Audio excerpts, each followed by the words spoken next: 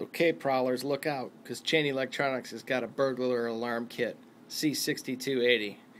And uh, this little monster here lets out quite a shriek and will let you know when you uh, are somewhere you shouldn't be. Check it out.